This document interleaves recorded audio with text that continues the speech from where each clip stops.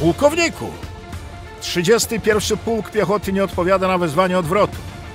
Spróbuj uzyskać łączność aż do skutku. Muszą otrzymać ten rozkaz.